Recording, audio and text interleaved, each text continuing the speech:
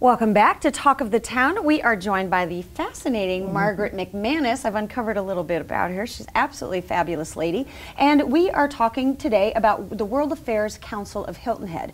You all are a chapter of this organization. You all have so much going on. Mm-hmm. So let's talk a little bit about your organization. And you have this fantastic speaker series coming up. Tell yes. us a little bit about your organization.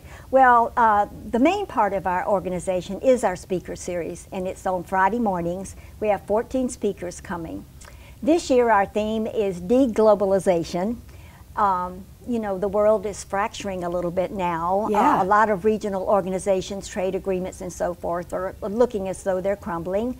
So we're going to take a look at that and see what it means in terms mm. of economic growth, uh, states' powers, etc. The world has changed a it lot. It is. You summed so. it up beautifully by saying everybody kind of wants their own thing. Mm-hmm. You know, everybody's kind of kind of just wants their own thing, and it's all falling apart. Yeah. You know, so. Yeah. So we're going to have our speakers address that issue. Um, and in our speaker series, we have two global speakers that come to us. And this year, uh, we have a lovely woman coming from Costa Rica to talk to us about Costa Rica, small country, big ideas. So that should be fascinating. Where do you all find your speakers? Well, we have a committee that finds them. How many people are in your committee? I mean, well, you guys have an executive director, right? We have so yeah. much talent here in Hilton Head. So y'all want to be a part of this organization oh, first and foremost. Absolutely. But so tell us a little bit about about the committee and. Well, the committee is made up of people um, who've done various things in world affairs, um, uh, different jobs in our organization here. However, uh, these are people retired admirals. Uh, uh, one woman worked in Japan for years and has studied international relations for a long, long time. And you lived also, in the Far East for a long time. I just I want to did. brag on you. You're so fascinating. well, thank you.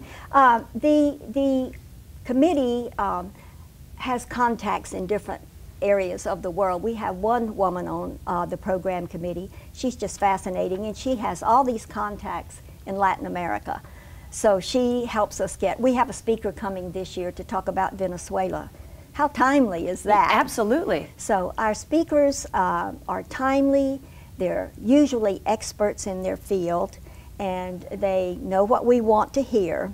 Our audience, I should brag on our well, audience. Let's talk a little bit about that and how one can become an audience member. And okay, um, first of all, our membership is close to 1,100 members, which I think speaks so highly of this island. That many people get together wow. to hear a speaker.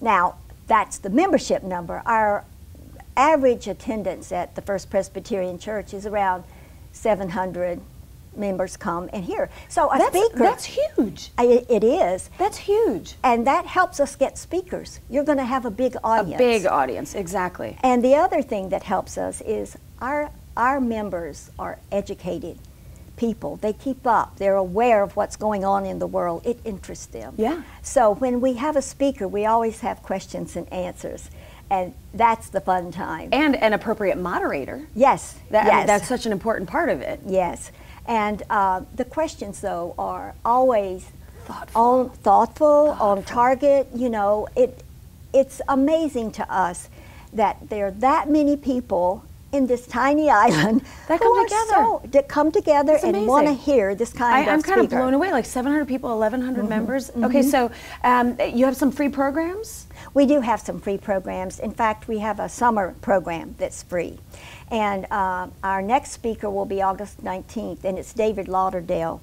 Our theme this year for the summer program has been um, social media and newspapers in the area era of social media ah. and the digital age and, and what that change. means.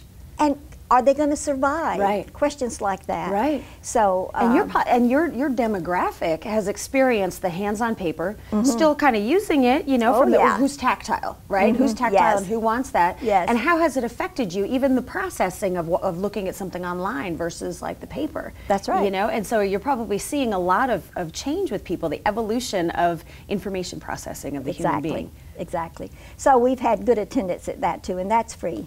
Um, so we have our speaker series. We have an evening series series for people who work, mm. and um, uh, that involves local speakers. So much talent here. So much talent. and so we call upon that talent, and um, have speakers come in and speak to us about their field of expertise. And there is a charge for that because uh, we have a dinner service with it. Sure, sure. So on the lower third here, we have your website address, the World Council, the World Affairs Council of Hilton Head. Miss Margaret, thank you so much for being with us and check out this organization. It was we'll my right, pleasure. It was my pleasure. We will be right back with more Talk of the Town.